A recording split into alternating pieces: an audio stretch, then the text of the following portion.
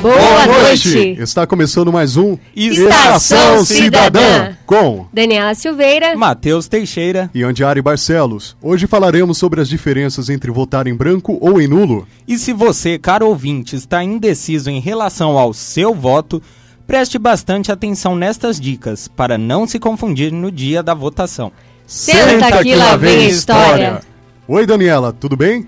Não muito, Andiari. As eleições estão chegando e eu não sei o que fazer. Estou indecisa e, além disso, não confio em nenhum dos candidatos. E aí, galera?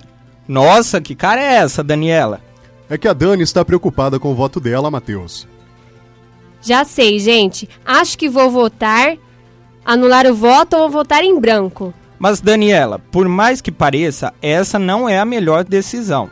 Além disso, há diferenças entre votar em branco ou em nulo. Então há diferenças entre votar em branco e em nulo? Matheus, vamos tentar explicar para ela? Claro, Andiari. Veja bem, Dani, a Lei Eleitoral 4737 de 15 de julho de 65 é muito clara. Ao votar em branco, entende-se que quem votou pode estar indeciso entre dois ou mais candidatos, ou achar que qualquer um que for eleito será um bom governante. Mas, gente, se eu votar em nulo, não é a mesma coisa? Não é não, Daniela.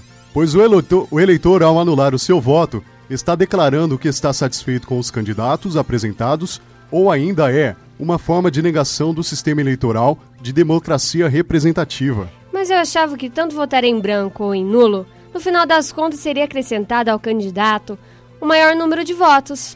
Em nenhuma hipótese. O que precisamos ter em consciência é que tanto o voto em branco como o nulo só serão computados para fins estatísticos e nada mais.